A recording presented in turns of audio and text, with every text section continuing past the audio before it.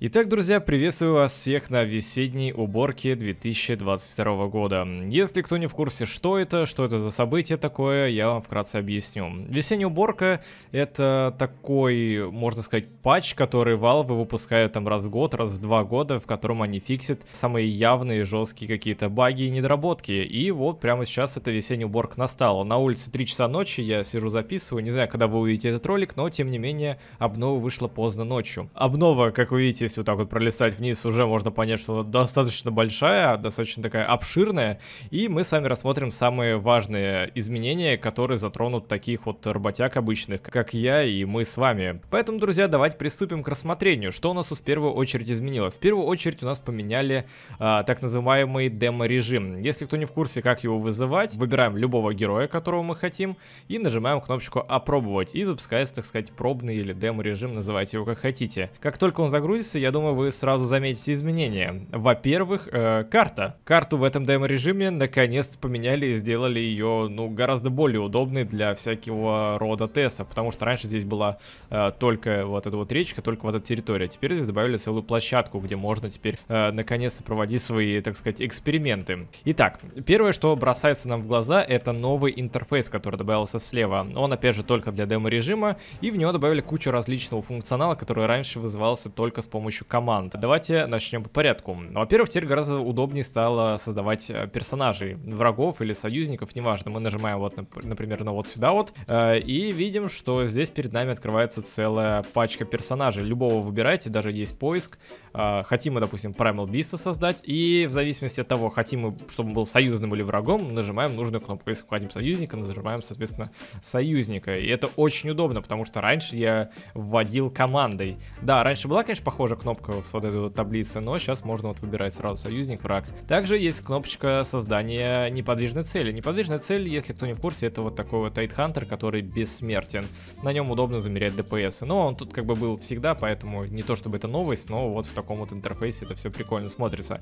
Плюс неожиданно добавили руны. Раньше такой функции точно не было, и мы теперь можем спавнить руны прямо перед э, нашим героем. Вот это прям реально новшество на самом деле. Можем посмотреть вот как с хостой с ДТшкой работают те или иные персонажи. Это прикольно. Не то, что прям необходимо, но прикольно, что есть. Теперь мы можем прописывать отдельным персонажам э, нужный уровень. Раньше это опять же делалось все командами, либо сразу 30 уровень можно было апнуть или там по одному апать.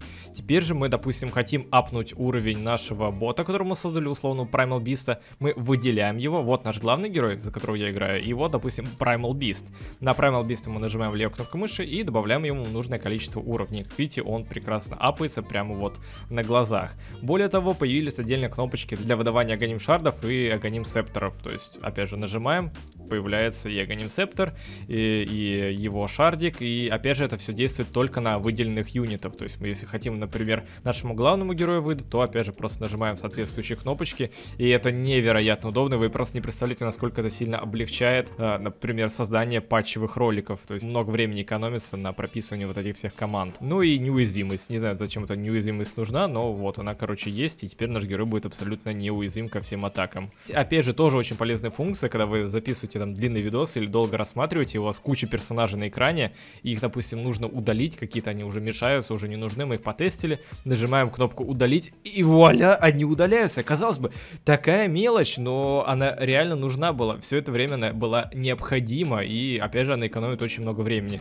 Допустим, Primal Beast мне тоже больше не нужен, я его потестил, нажимаем удалить. Все. Казалось бы, такие базовые вещи должны быть изначально, но вот Valve до них дошли только сейчас. Также здесь же можно прописывать VTF, если раньше вы хотели кастовать способности и не тратить ману и не иметь кулдаунов, я, ну, лично я прописывал VTF, вот эту вот команду, то теперь э, можно просто нажать бесконечный мана, и эффект будет абсолютно тот же, то есть мы не будем уже тратить э, ни ману, не иметь никаких кулдаунов. И волны крипов тоже очень удобно. Э, раньше, если вы выключали волны крипов, то они просто переставали спавниться, а если мы, допустим, вот они заспавнились, и и мы хотим выключить этих крипов, мы нажимаем, и крипы пропадают. Они не просто перестаспавнятся, они пропадают те, которые уже заспавнились, и это опять же удобно. Ну и плюс ко всему дизайн зачем, но можно выключить еще и башни, они тоже вот просто пропадают. Фонтан, конечно, остается, но башни пропадают или возвращаются обратно в зависимости от того, куда мы нажали. Короче, менюшка вроде небольшая, но максимально функциональная. Все, что вот может понадобиться при тесте персонажа, они сюда добавили. Ну и плюс вот этот вот обновленный кусочек карты меня не может не радовать. Ну, как человека, который занимается обзорами патчей. Ну и Valve, конечно, молодцы, что исправили такое количество багов, но, увы, они так и не исправили самую главную проблему — возможность пополнять баланс в Стиме, в отличие от моих друзей Пеклут. Они добавили на сайт сундуки, из которых можно выбивать баланс Стима. Да, прям вот баланс и да, прямо вот на Steam. Я не знаю, как они это сделали, но мало того, что баланс приходит моментально, так еще и из сундука за 100 рублей можно выбить полторы тысячи Steam баланса. Ну и очевидно промокод на целых 15% к пополнению баланса в таком варианте будет использоваться гораздо приятней. Кстати, этот же промокод, если ввести его на ивентовые страницы, он даст вам плюс одну бесплатную попытку во временном режиме Mid Battle, в котором халявно раз в час можно фармить скины, сундуки и другие бонусы. Ну и не забывайте об их ZXC Battle Pass, который только по ссылке в описании можно получить бесплатно, а не за 800 рублей. И, ребят, в моменты, когда YouTube отключает монетизацию, правда очень важно, чтобы вы пользовались услугами спонсоров. Это очень помогает. Поэтому ссылочку я оставлю в описании. А, ну еще забыл добавить, что мы можем менять своего главного героя прямо вот здесь, вот не выходя в главную менюшку, как мы делали это раньше. Допустим, вот я сейчас за антимага играю, опять же открывается вот такое окошечко, нажимаем стрелочку, открывается окошечко, и я хочу поиграть за Primal Beast, потестить его способности. Я не просто так его взял, друзья. Смотрите, э, добавили вот какой функционал интересный, которого мне очень не хватало именно на Primal Beast. Кто не в курсе, у него есть Аганим Шарт, я его никогда не покупал, потому что я не знал точно, что он прям вот делает во время игры, и разбираться было лень. Вот, раньше, когда вы наводили на Аганим Шарт, просто мы знали, что у него появляется новая способность, и видели ее банальное описание. Но никаких статов, что она дает конкретно не было. Теперь мы точно знаем, э, что у Primal Beast, вот этот его Rock Throw, он, он дает 275 урона, стан вот такой вот определенный. Это удобно. Раньше мы видели только описание способности. Вот обидно, кстати говоря, что здесь не написано, сколько маны стоит. Или она вообще не стоит маны. Нет, она вот маны как бы стоит, но мы не знаем, сколько она стоит, потому что здесь не написано. Но теперь сюда добавили статы. То же самое с аганимом. Если мы возьмем персонажа, у которого, допустим, есть какой-то аганим, мы здесь будем видеть абсолютно все статы, которые мы будем получать при покупке аганима. Что конкретно он увеличивает, что уменьшает. Это реально пригодится как новичкам, так и тем людям, которые, допустим, не особо следят за обновами. Также гораздо более удобно сделали лавку. Я думаю, вы тоже все сталкивались с такой ситуацией, что вам нужно найти какой-то определенный итем, и пока вы найдете его вот здесь, вот э, вы проще воспользоваться, короче, поиском. Ну, я обычно всегда так делал. Хочу, например, купить, допустим, Асауль Кирас, да, и чтобы ее не искать вот здесь, ну, я как бы, знаешь, вот здесь я вводил вот э, слово S, например. Ставь лайк, если так же делаешь. Ну и, короче, что теперь сделали Valve? Они добавили поиск по, ну, грубо говоря, по тегам. Допустим, вам нужен армор. Мы вводим армор на английском, разумеется, и нам выдает все итемы, которые дают э, армор в той или иной степени. Даже, ну да, даже нейтралки, получается, показывают, слушайте. И это прикольно, это реально удобно. Допустим, если вы знаете, что вам в целом в игре не хватает армора, вы вводите армор, и дота вам покажет все итемы, которые хотя бы чуть-чуть этого армора нам дает. То же самое можно, допустим, вести с э, атакой. То есть вот, все итемы, которые дают нам дополнительный урон. Это удобно, это реально удобно. Допустим, вам не хватает спида не того спида, а который спид, который скорость. И вот, опять же, мы получаем все итемы, которые дают нам скорость передвижения. Еще один любопытный прикол они добавили в итемы. Допустим, мы знаем, что Iron Bridge дает один ко всем атрибутам. Но что это значит? То есть мы знаем, допустим, один к силе дает какое-то количество хп, один к э, интеллекту дает какое-то количество маны, э, один к ловкости какое-то количество брони, но точных цифр никто не знает. Вот назови любого человека, он не назовет, потому что там такие цифры не округленные, и это вообще неудобно.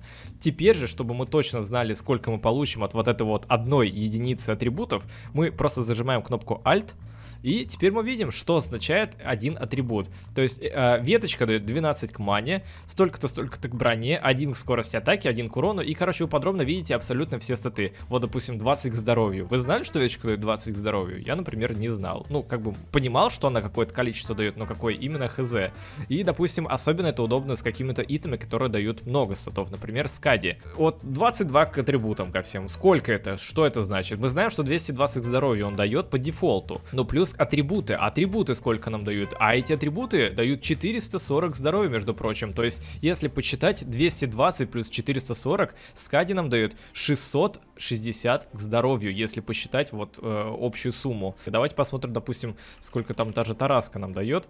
Э, и опять же видим 45 к силе, это 900 к здоровью. И плюс 250 к здоровью. 900 плюс 250, 1150 к здоровью дает Тараска. Также небольшая такая мелочь, но приятная. А валвы добавили цвета для типов урона. Допустим, у Тайдухи мы знаем, что Гаш наносит магический урон. И теперь циферки, которые отображают этот урон, они тоже синенькие. Соответственно, э, если у него третий скилл наносит физический урон, то циферки будут отображаться красненькими. Ну а если речь идет о чистом уроне, то давайте возьмем Макса. Если речь идет о чистом уроне, то он будет желтеньким. Еще одна небольшая, но интересная деталька добавилась после игровую аналитику. Я думаю, многие ребята часто сюда залазят, чтобы посмотреть, кто как отыграл, кто сколько там урона нанес, кто сколько выхилил.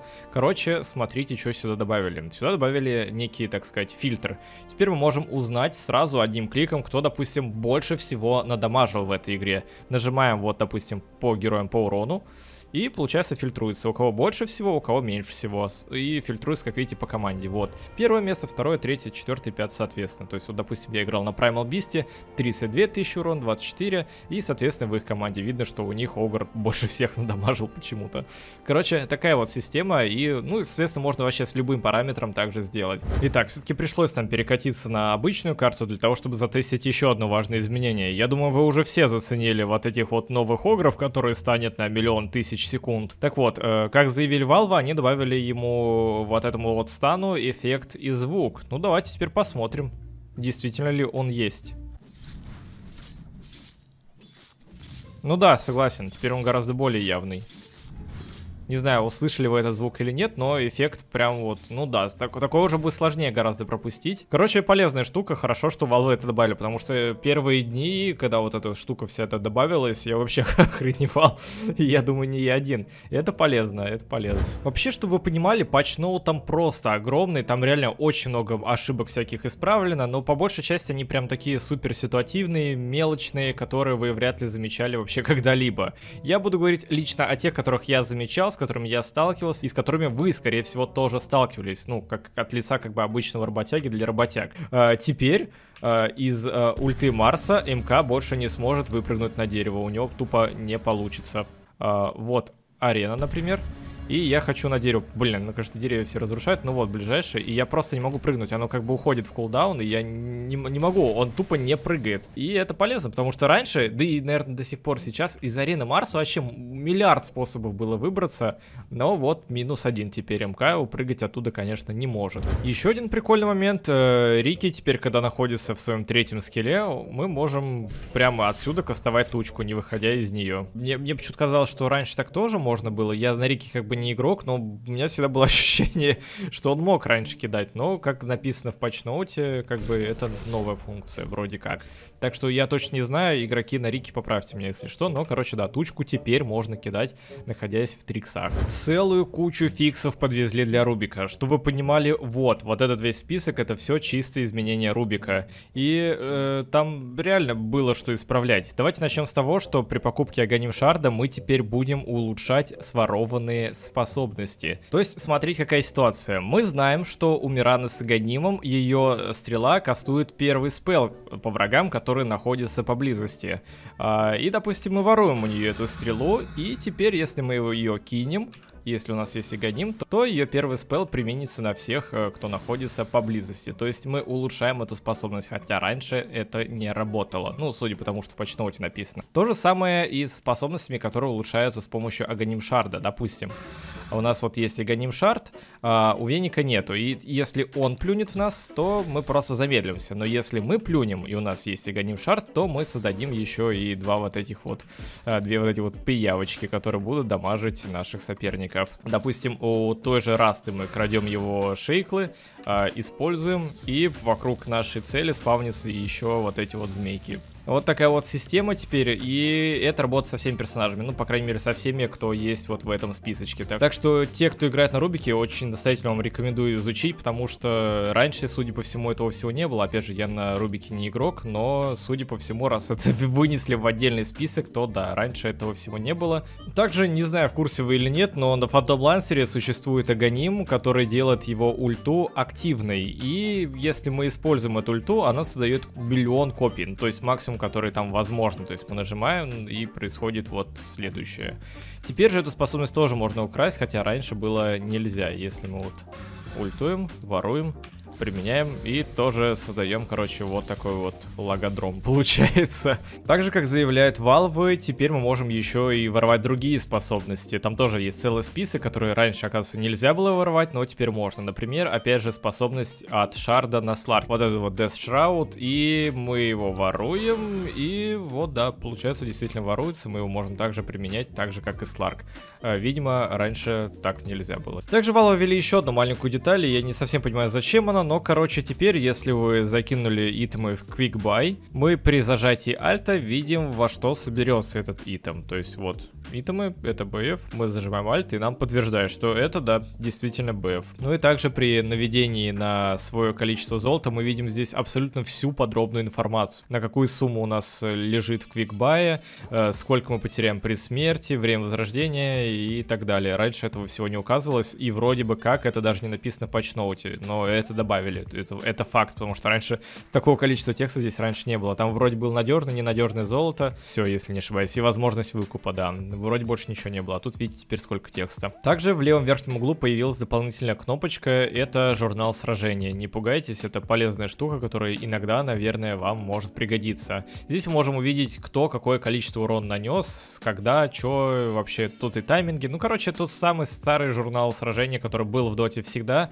Но чтобы его найти, нужно было кликнуть сначала в таблицу счета, и вот здесь вот этот журнал сражений раньше находился. Он до сих пор здесь находится, но теперь его вынесли на отдельную кнопочку. Итак, теперь пройдемся по косметике. Не знаю, в курсе вы или нет, но относительно недавно Valve добавили новые сетики в доту, вот такие вот они, ну, примерно в таком вот красном стиле. Они выдаются за DPC очки, если я не ошибаюсь. Ну, короче, кто шарит, тот знает. В общем, суть в том, что эти сеты были забагованы. Конкретно вот на Наге Сирене этот баг заключался в в том, что когда вы призывали иллюзии, они, э, как бы вам это сказать, выделялись. То есть можно было четко понять, где иллюзии, где нет, за счет этих шмоток. Баг, он достаточно такой скандальный был, на Reddit о нем много кто говорил. Вот. Ну и сейчас, как заявили Valve, они это исправили. Как видите, теперь э, иллюзии полностью синие, и враги не смогут нас различить. Так, ну давайте дальше пробежимся по косметике, а конкретно по тем моментам, которые лично я сам замечал. Если вы не помните, в последнем патче Питлорду добавили новый ульт, э, который создает вот такие вот, ну, порталы, короче, вы должны наверняка были видеть. И прикол в том, что буквально где-то за пару месяцев до этого вышла имморталка, которая меняла его старый ульт. Ну, вот там, где мы вокруг себя всех ребят телепортировали. В общем, по сути, эта имморталка стала бесполезна на вот эти вот несколько месяцев после выхода э, патча с новой способностью. Но теперь Valve это исправили, и теперь эта имморталка меняет новый ульт. Ну, по крайней мере, ее иконку. Не знаю визуально, как она именно ее меняет, потому что, ну, давайте вот посмотрим, кстати. Обратите внимание, что с этой имморталкой портал выглядит вот так вот, то есть он действительно меняется. Valve заново перерисовали э, вот эту вот модельку и ее партиклы, потому что по дефолту вот эти вот порталы, они выглядят совсем иначе. Сейчас давайте даже затестим это. Да, портал вот такой вот желтый, у него совсем другой эффект, и Valve реально переделали, прикольно. То есть эта имморталка теперь не бесполезна, потому что раньше она вообще ничего не меняла. Также на Абадона существует вот такая Immortal палка. Это одна из первых имморталок вообще в доте, и в свое время у нее вообще пропал эффект как от Immortalки как таковой. Вообще, по дефолту она меняла щит, потом она перестала менять, ну, видать, из-за какой-то ошибки, и теперь Valve наконец-то вернули этот эффект а, нового щита от Immortalки щит с ней выглядит вот так, вот такие вот черные полосочки. Я думаю, вы давно такого не видели, хотя многие бегают с этой палкой. Вот такой вот э, щит должен был все это время быть у Абадона, если кто не знал. И он был когда-то, но Вала, видимо, забыли про него или забили. Тут уже вопрос другой. Показать, к сожалению, вам не смогу, потому что у меня нету аркана на Тейчиса, но, короче, на словах могу описать. Я думаю, вы в курсе, если вы играете много на Тейчисе и его являетесь фанатом, то вы знаете, что в его аркану можно вставлять гемы, которые будут менять его цвета. Так вот, э, теперь, после того, как Тейчиса поменяли, вы знаете, что способности у него стали другими, и теперь Valve адаптировали изменение цветов от гемов под новые способности. Таким образом, если вы вставите в эту аркану гемы на цвета, они будут менять вот этот стики, стики-бомбу первый спел и его реактив тейзер. Также аркане на Рубика добавили измененный эффект для того же первого скилла Тейчиса. Если мы его воруем, то этот спел будет выглядеть теперь следующим образом. Вот такая вот зеленая минка теперь будет. Ну и наконец-то Valve снизошли и исправили все вот эти вот реликвии, которые были сто лет как неактуальными. Ну, то есть вы знаете, для некоторых героев там у них способности поменялись, а у них там по-прежнему задание нанесите со столько-то урона с э, вот этого вот удаленного скилла. А этого скилла нет, реликвию не прокачать. И, короче, все вот эти вот штуки исправили. Вот вам списочек целый, кому интересно, изучайте, потому что смысла их показывать все нет. Вот, ну и также испытания обновили. Я вот прям как сейчас помню, я вот на Омнике проходил, у него было испытание. Сейчас оно у меня отображается. Короче, нанести какое-то определенное количество под репелом, вот этим вот вторым скиллом. Вот, какое-то количество урона с руки. И оно тупо не засчитывалось. И как раз в списке changelog это вот исправление оно имеется. Наконец-то Valve его исправили, за что ему спасибо. Ну и на этом все, друзья. Вот такой вот патчик получился. Действительно, весенняя чистка. Valve пофиксили многие баги. И пишите в комменты, какие вы сами нашли фиксы, потому что Valve далеко не все написали в этом патчноуте. Они всегда так делают. Многие штуки они добавляют оставляют просто так и как бы не описывают это. Так что то, что вы нашли какие-то исправления, пишите комменты, будем составлять свой, так сказать, народный патчноут из изменений, которые Valve не описали. Ну и плюс пишите моменты, которые Valve не исправили. Интересно будет почитать, про что же они все-таки забыли. Короче, такой вот патчноут. Весенняя чистка, я считаю, прошла успешно. Многие баги реально исправили, это радует. Спасибо за просмотр. Не забывайте подписываться на мой паблик ВК, залетать в Дискорд. И я с вами не прощаюсь. Еще услышимся.